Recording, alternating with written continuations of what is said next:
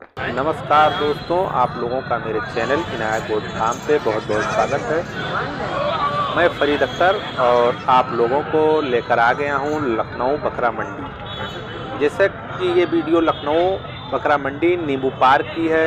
तो दोस्तों जो लोग नए हैं मेरे चैनल को अभी तक सब्सक्राइब नहीं किए हैं तो लाल वाली बटन दबा के मेरे चैनल को सब्सक्राइब कर लें। और एक से एक आप लोगों को बकरी संबंधित जानकारियाँ हमारे यूट्यूब चैनल इनायत फार्म पे मिलती रहती हैं। कौन सी बकरी कैसी है, कितने बच्चे वाली है तो हर प्रकार की जानकारियाँ आप लोगों को मिलती रहती हैं और क्या रेट में है। दोस्तों, ये है नींबू पार्क की देखे बकरियाँ, जो कि ज़्यादातर बकरी बच्चे दे चुकी हैं और बच्चे भी साथ में लेकर आए हैं बेचने के लिए। लेकिन अब ठंड का मौसम है। अगर आप लोग बकरियाँ बच्चे वाली अगर ख़रीदते हैं तो पालने में थोड़ा दिक्कत होता है ठंडी के मौसम में। और ज़्यादातर बच्चे बचा नहीं पाते हैं लोग, जो अच्छे से देखभाल नहीं करते हैं।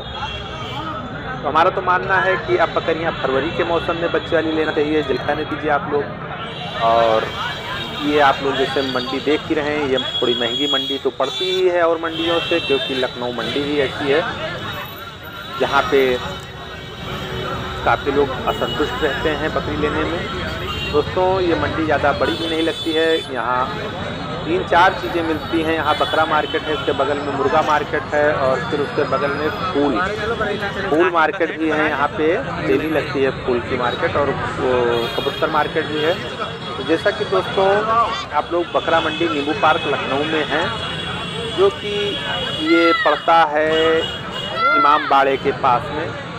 आप लोग अगर लखनऊ आइए मंडी करने के लिए तो आप लोगों को इससे बकरियाँ यहाँ मिलेंगी। ये देख सकते हैं कितना दूध इसका है और हम ज़्यादा भाई भी दिख रहा है दोस्तों तो जैसा कि जब बकरी के नीचे दूध अधिक रहता है तो बच्चे हष्टपुष्ट रहते हैं, तैयार रहते हैं। अगर दूध कम है तो बच्चे कमज़ोरी की वजह से दिक्कत रहता है। और आप लोग देखते हैं, यहाँ पे बकरियाँ आप लोगों को पालने के लिए मिल जाएँगी। बारह हज़ार, पंद्रह हज़ार, सोलह में जैसी बकरी लेंगे। और कम दाम की भी मिलती हैं, ज़्यादा दाम की मिलती हैं, लेकिन मैं मैक्सिमम दाम बारह, पंद्रह हज़ार बता रहा हूँ। अधिक दाम का भी मिल जाता है दोस्तों। जैसा कि जो भाई अगर लखनऊ बकरा खरीदारी संडे वाली मार्केट आना चाहते हैं तो आप लोगों को कहीं भी उतरें और बोलिए, हमें चौक जाना है। ऑटो वाला दस रुपये लेगा, शायद बस स्टैंड से ला छोड़ देगा चौक पे। और चौक से बस आपको लोग मंडी बता देंगे, सीधे मंडी दिखती है। तो यहाँ पे आप लोगों को एक से बकरियाँ मिल जाएँगी। बस थोड़ा महँगी रहती है हर मंडियों से। और ये मंडी लगती है दिन रविवार को दोस्तों। तो जैसा कि आप लोग ये जानिएगा कि यहाँ पे लोग बकरे को पानी पिला के लाते हैं, बकरियों को बकरे को बेचने के लिए। उसको पिला देने से इनका पेट काफ़ी निकला रहता है।